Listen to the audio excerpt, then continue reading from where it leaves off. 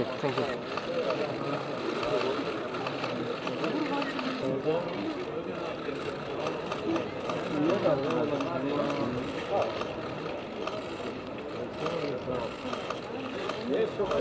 Er hat ja gekämpft, dieser Unfall.